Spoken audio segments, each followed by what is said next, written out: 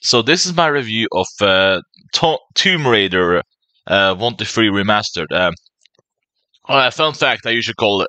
I used to call it uh, Raider when I was little. So uh, I still don't get used to saying the correct pronunciation, but it is correct one, so I'm going to say it uh, here at least. Uh, so. Uh, Tomb Raider is, in my view, a 10 plus out of 10. Uh, what I mean by 10 plus, it means that it is flawless, it is perfection.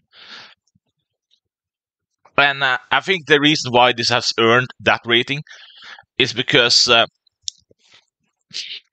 uh, is because this, um, in lots of ways, uh, introduces people to what a game is supposed to be about, and it also does a very good job at preserving the original spirit, but making it look more modern. And I think this is uh, hands down uh, just uh, a really good remaster, and uh, and also this reminds people of what the game should be about. It should not be about um, um, about 15 minutes cutscenes. It should just be about a game, puzzle solving, or intellectual stuff, or interactions. And this has just the the, the best uh, type of gameplay, like um, you know, using your head, thinking how you're supposed to solve a puzzle, uh, how to advance the game this is the perfect example of what a video game should be about. So in my view, I have no regrets on giving this a 10 plus out of 10. I only played the first uh, to- uh, Tomb Raider uh, remaster though, but um, uh, from the looks of it, the rest looks good too. Uh, at least from what I heard, so I don't think I'm gonna regret this rating. It's just uh, an insane fun experience. Like this makes me feel like a kid again, and uh, you know, maybe maybe it's kind of funny because uh, this is supposed to be like a mature game, and you know, lots of kids tend to play those. it's not funny, but uh, uh, but either way, just in terms of um, the aim of the game, you know, you're exploring as a adventurer. You are, you know, uh, and also Lara Croft has a fun personality in the older one. Like in the newer one, she's just uh, went away with this boring, lifeless, boring character. So that's also a good thing to have back.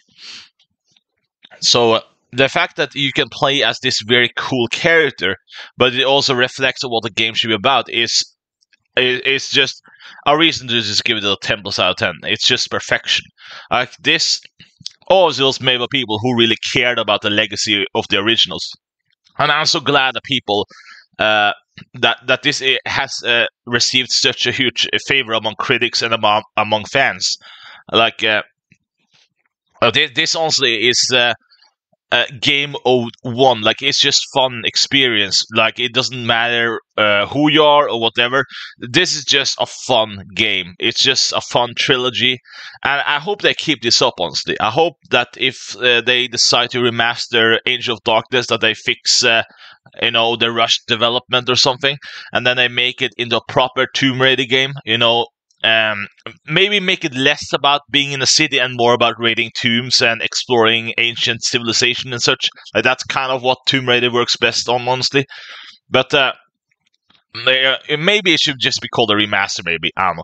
Uh, but, you know, Angel of Darkness uh, would be kind of cool if they try to fix that one in a later release.